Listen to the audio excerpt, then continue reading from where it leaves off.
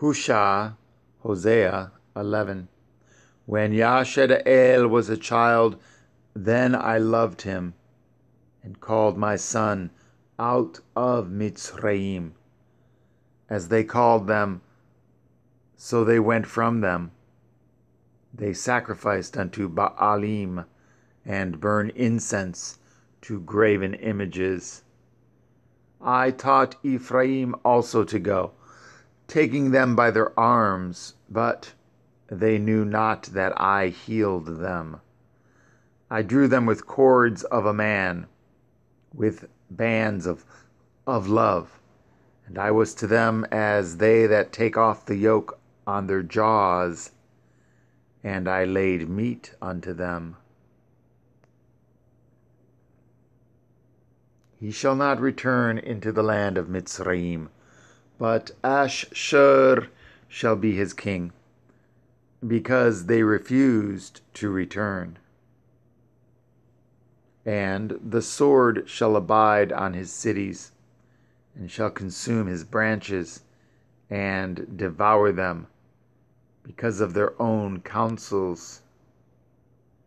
And my people are bent to backsliding from me, though they called them to El Elyon. None at all would exalt him. How shall I give you up, Ephraim? How shall I deliver you, Yashar'el? How shall I make you as Admah? How shall I set you as Sevoim? My heart is turned within me. My repentings are kindled together. I will not execute the fierceness of my anger. I will not return to destroy Ephraim. For I am El, and not man, the Holy One in the midst of you, and I will not enter into the city. They shall walk after Yahuwah. He shall roar like a lion. When he shall roar, then the children shall tremble from the west. They shall tremble as a bird out of Mitzrayim and as a dove out of the land of Ashshur. And I will place them in their houses, says Yahuwah.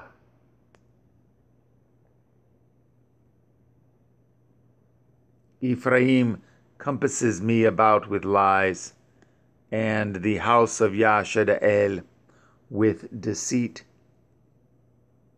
But Yahudah yet rules with El and is faithful with the Kodashim.